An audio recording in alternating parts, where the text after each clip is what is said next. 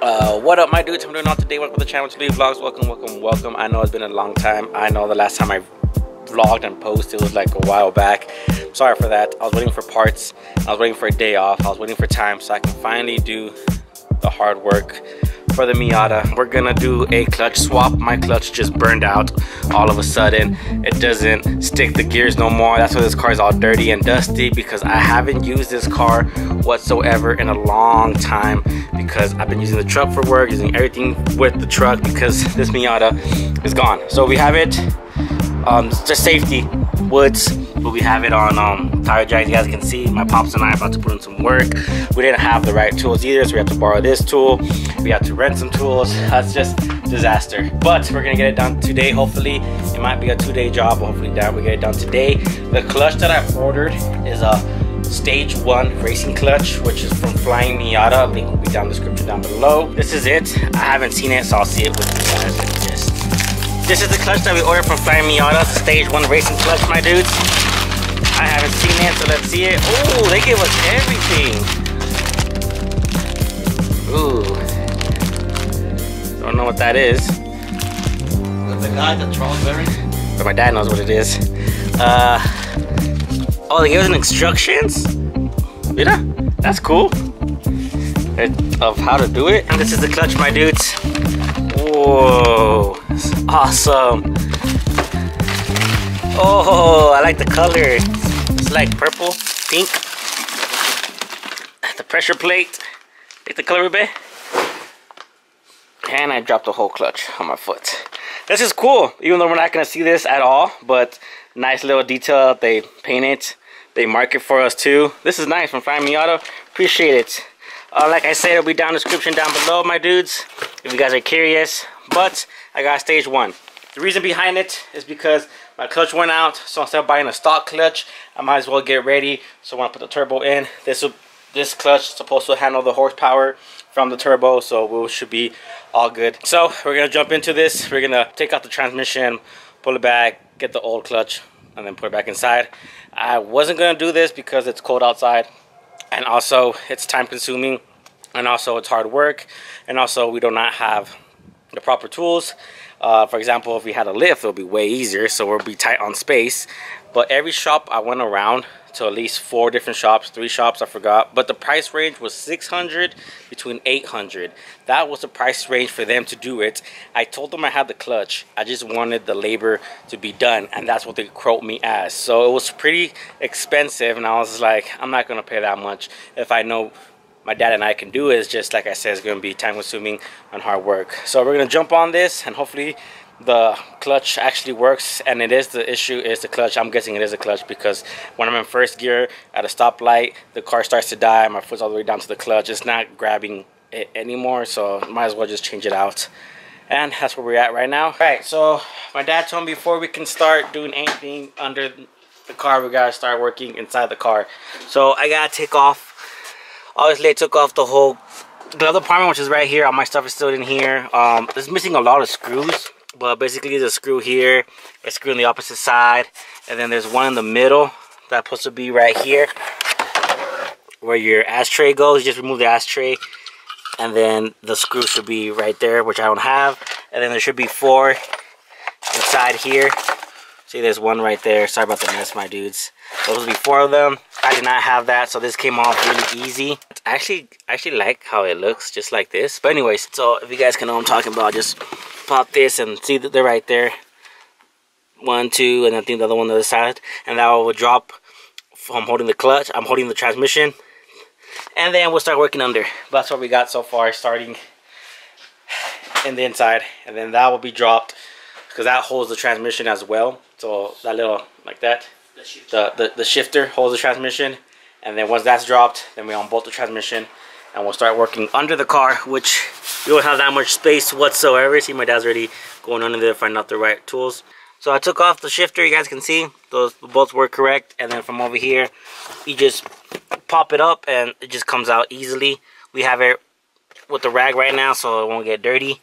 Then we move on underneath the car we're gonna go underneath the car I'm gonna show you guys what we're working with more or less we got so much space You guys can see down here. All right. First things first. Oil pans right there. Oh, sorry, you guys are kind of crooked. Oil pans right there. This is the transmission right here. All this. So starting from right here where this bolt's off that my dad took off. And ends right here. Is the transmission. So here is the transmission. To that bolt off right there, the transmission. So in order to get the transmission off, we gotta get it and we're gonna slide it backwards. In order to slide it backwards, we have to take it off the, the dry line, which is back there, which connects to these two tires that make these tires spin. That's how an engine works, more or less. So now that we're looking at it, you might have to take off these bolts as well. This one maybe. And then down there, maybe. In order to drop the transmission as an angle. And then we have the jack right there because we're going to bring in the jack right here to hold transmission while we do the rest. Because once, once the bolts are off, it's going to drop and make a mess. That's where we are right now. And then we gotta take off these wires. There's right here. Oh, you guys can't see that because there's no light. Right there, there's wires. So we gotta take off these as well too. Or unplug um, them. They're all right here. Oh, beautiful. So that's what we're looking at right now, my dudes. And they go all the way down there. A lot of bolts and a lot of strength and a lot of muscle to drop this because we're in a tight spot and it's really hard to do this, but we'll get it done. All right, my dudes let's start get to work and I'll show you guys the process. Like always, we have to go to Harbor Freight to buy more tools that we didn't have. Extension, we bought batteries for flashlights and adapters. Uh, I'm gonna show you guys what we have so far underneath the car. So we took off the the wire harness, you guys can see. And then over here, this is the negative that goes right here to the ground. So we took that off. And then we haven't took off the driving shaft yet, which is right here where the, where the black thing is pointing at. We left the bolts in right there for the meantime. So that's perfect. So we haven't dropped it yet. And then over here, over here we're looking at the transmission. And we start taking off more bolts and we realize that we need that extender to get a couple bolts that are like up there on the top. Um, the only issue is that the muffler, this muffler right here, is actually connected to one of the bolts of the transmission housing. You guys can see. So that might be an issue when we drop it. We haven't, we're not sure yet until we actually do it. And that's where we are right now, my dudes. Oh, and we still gotta take off these bolts right here too, because these are holding the transmission as well. We can drop in and I'll show you guys um the inside the transmission, which is pretty cool how an engine works. But I'll show you guys that. Let me put it the new clutch inside. Let me put everything back on. It should be easy. The hard part is dropping the transmission. We've been fighting, we've been struggling. It's been hectic. Um, just want to show you guys the paint that we did, spray paint, hold off pretty good. Still looking nice, still looking brand new, fresh. Anyways, it's one thing after the other thing. Um, just to get the transmission, we're almost there, and then we just realized, no, we got to take off this to order to push it more back. So we took off this, which you're supposed to, now that we know. So let's take a look under. Did take off what do you call it, the dry line. We took yeah. that we took that off. Um, you guys can see. This is where we unbolted it. That metal rail that I just showed you guys, which is that, was all right here. That's just a support, just in case this thing falls. We're taking off the muffler right now, which is the down pipe that goes straight from the headers to down to the muffler. So we're taking off this. That's why we have this unscrewed right now because we are going to take this off in order for us to start slamming the transmission and moving it backwards because it's a bolt after one bolt after one bolt it is bad it is long to do this I can see why mechanics wanted 800 bucks for them to do this but then again all the shops obviously they have it easier because they have the stand-up ones where you just work with your hands up which is make it way easier and then right now we're on the top of the hood because my dad's trying to get the O2 sensor out uh, or whatever wire that's still attached to it because it still does not want to come out in transmission. That's where we're at right now. Um, law, labor, hard work. We're on the floor. We have the heater on. Like I said in the beginning of the vlog, it's cold outside. And we're still here trying to fix this clutch. We haven't even got close of seeing the clutch or even taking off the transmission. It's just, like I said, one thing to the other. But that's mechanic work. You do it yourself. You do it yourself. But if you take it to a shop, you don't know if they put it the right one, or they got a cheap one, or they get a used one, or, or they go get a junkyard one, and they keep the good one for themselves or for a higher end client. You never know. You can't trust shops these days, but that's just trusting people. And if you do it yourself, then you know you did it right and you know what you put inside your car. So you have no one else to blame but yourself. It's the next day. We had to cancel it. It was too much work. We were tired. Next day, here we go. Day two. So we finally dropped the transmission, my dudes. Uh, that's how far we got. Uh, took us a long time. Took us some not that much space to work with but we finally got it. And I just want to show you guys the inside of the transmission. This is how it looks. Um, we took off this. So this goes right here like so. And then this is the clutch. And then we well obviously we took off the the cable for it. So this pushes like this like so when I when I engage the clutch and then this supposed to be all the way down so this comes in and out like this and this is what pushes in the pressure plate and the clutch in order to make the shift.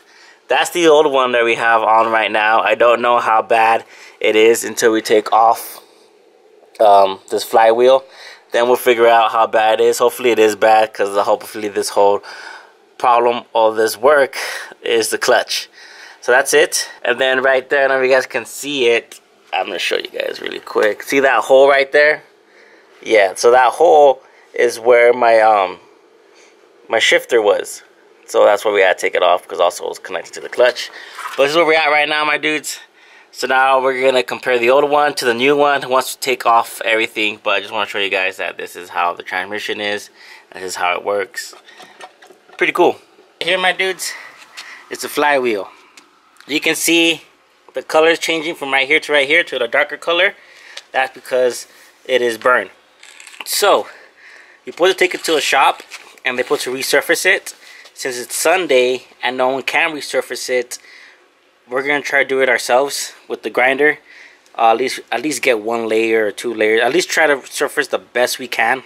But technically, you take this to the shop and they'll do it for you. But since everything's closed and we can't wait much longer we need this car up and running, uh, my dad said that he's gonna try to resurface it. And we're gonna try our best. So that's how you're gonna do it. Dale.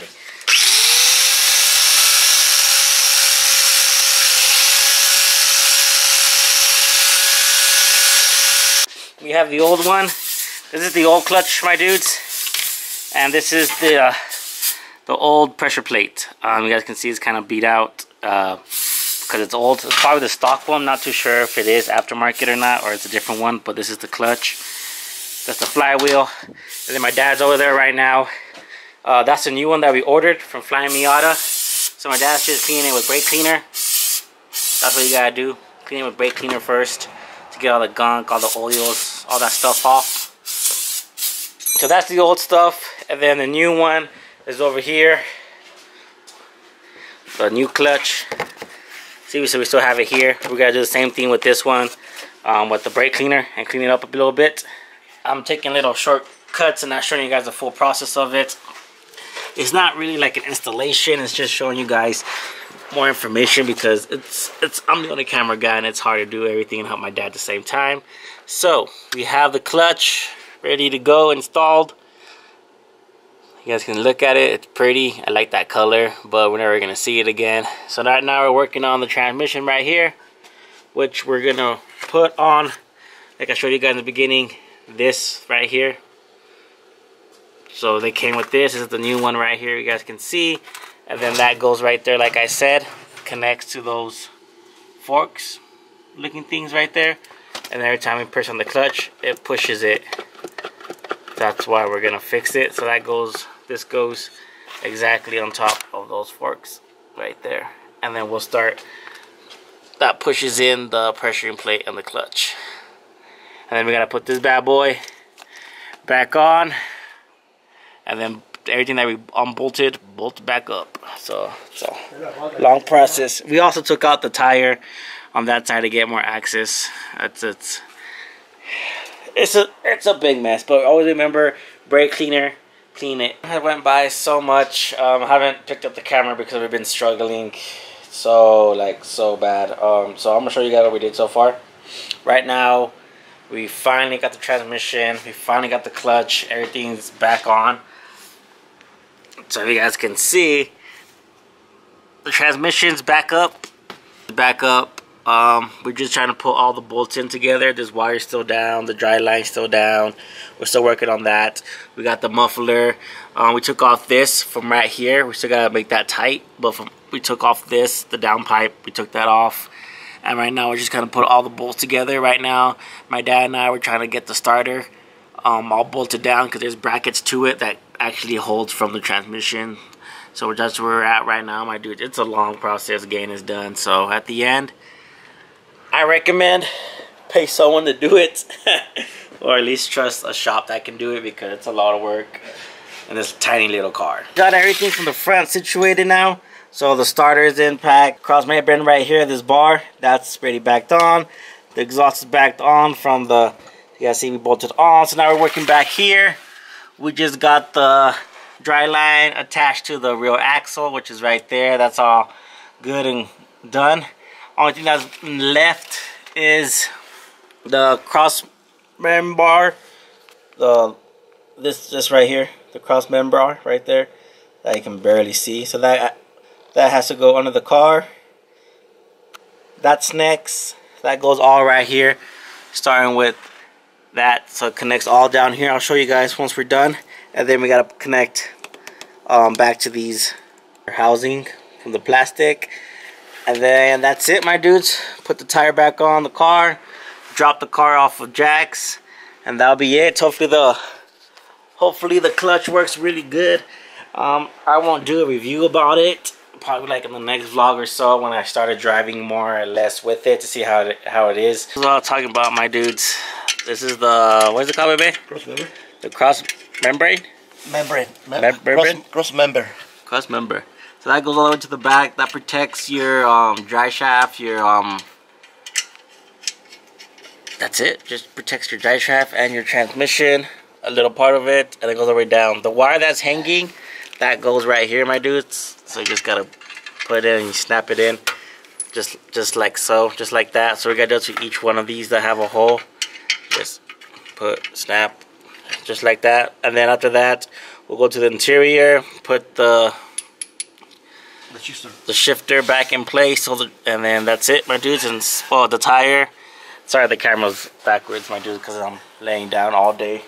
In the back in the cold. This took forever my dudes but we finally got it done so yay. So let me put all the wiring out the last time i go back under the car hopefully.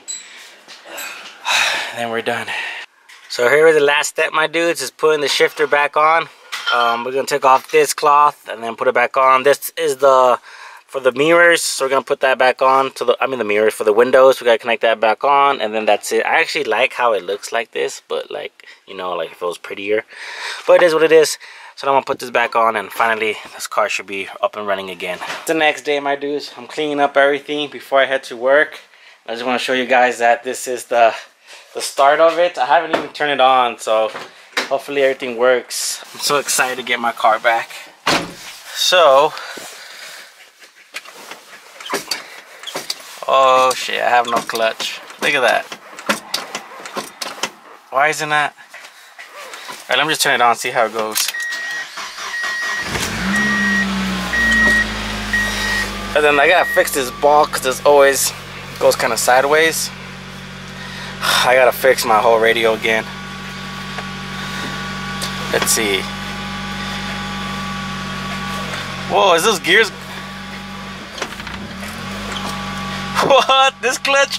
What? This clutch goes so weird. Like the other one was all stiff and hard, but this one just slides right through. Just goes whoop like butter. No way. Alright, I gotta see if it works. So I'm on first gear.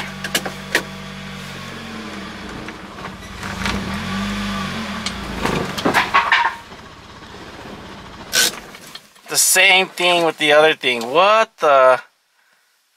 I gotta get this car out of here, my dudes, but it's the exact same thing. My foot was all the way down, and the car was dying. Uh. Alright, let me just put this car out of this garage, because I don't want it inside the garage no more. For some bad news, my dudes. We're back to square one. Uh, I thought it was a clutch, but uh, I don't know. It's not. It's not engaging unless we did something wrong, my dad and I. But I think everything is fine. Um, it's not. I have my foot all the way down, and it's not letting me shift out of gear. So I'm thinking it might be the gearbox. Hopefully, it's not the gearbox. It took me a while to pop it in reverse. I didn't want to go in reverse. I don't know because the new clutch. I got to keep pumping it and wear it out. But either way, I'll figure that out later. I just got to finish clean up the garage and I got to get ready for work.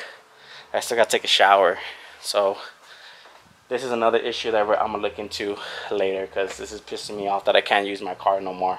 And this is the whole point of my channel is to build this car and this is postponing me. So um, I'll see you guys in the next one. The link be down below if you guys are curious of buying that clutch. And peace out.